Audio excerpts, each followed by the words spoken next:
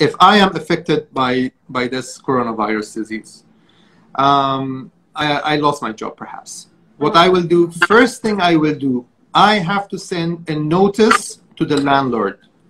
Again, please put it in writing. You send it to the landlord that, dear landlord, I am out of my job.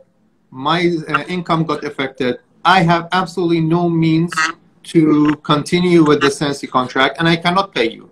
And preferably, let your approach be nice and you are not asking, you are basically asking for someone to sympathize with you for your situation. And if you can provide proof, please provide proof. If you don't manage to reach a settlement with your yeah. landlord, yeah. do you rental dispute center or do you go to uh, court?